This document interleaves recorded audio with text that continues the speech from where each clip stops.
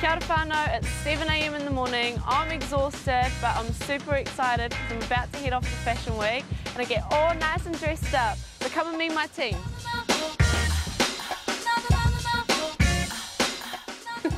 this is the incredible Dee from Delicious Makeup. The incredible Tash, and she's going to make me stand out from the crowd.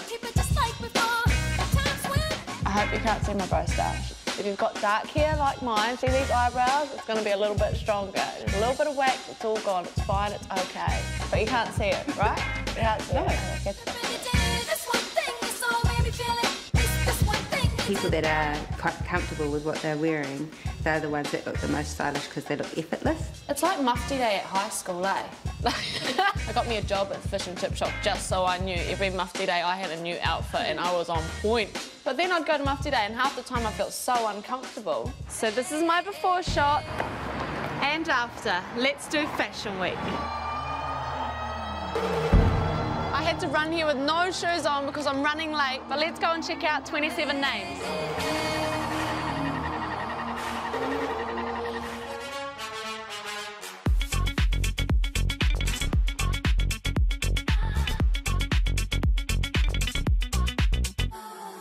Was so cool. I saw Danielle Hayes in there. I saw Ngahuia Williams. I was totally blown away.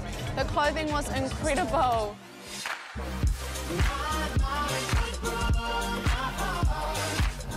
Who else should I be going to see today?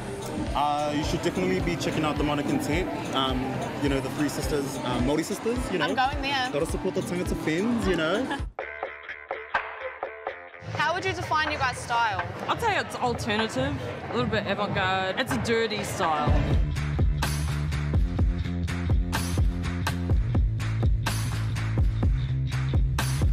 What were your thoughts, Mika? Kia tu whakaaro me te kaupapa a Demonet. He rau nei rā. In fashion, you've got to push the boundaries and be creative and things like that. And I think that demonic intent always does that. I, I, I don't know. I'm just so blown away.